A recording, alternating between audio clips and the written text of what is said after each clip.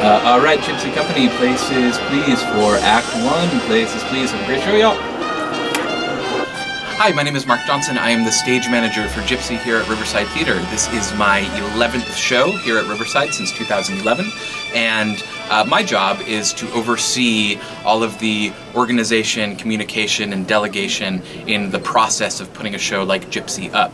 Uh, we start in the rehearsal room uh, where we bring the cast in and we start from scratch here uh, in our rehearsal space.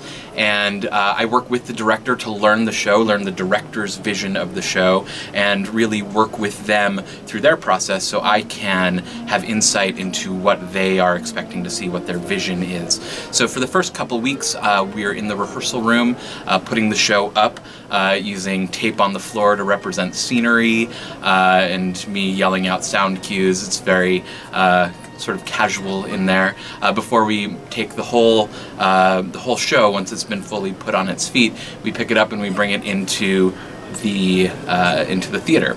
Uh, we have about a week to put up uh, a show of this caliber, uh, and we put everything together all at once. The lighting, the costumes, the sound, everything comes together uh, at the very start of our tech process. Uh, my job during that portion of the process is to uh, learn all of the to, to construct all of the set changes uh, and work with my team to uh, really put together uh, visually what the we want the audience to see. Um, in addition to the performance, there's all the technical elements that need to come together. So we work uh, in our off hours during the rehearsal process to figure out how the show is going to flow on the stage.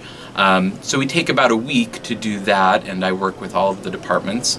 And then when the show is ready to be put in front of an audience, uh, I do what is called calling the show, which is uh, I have a, a, book, a script in front of me that has all of the cues for all of the flown scenery, all of the stuff that moves around on the deck, all of the light cues, all of the spot cues, and uh, all of the sound cues. And I have them all written down, and I cue all of my uh, my teammates uh, with a series of cue lights uh, that turn on off stage when you uh, want someone in standby, and then it turns off, and that's when we execute the transitions. And everything needs to work together with lights and sound, orchestra, and the cast. So it's really my job to take the director's vision uh, that we, we worked on in the rehearsal process and really uh, make it come to life.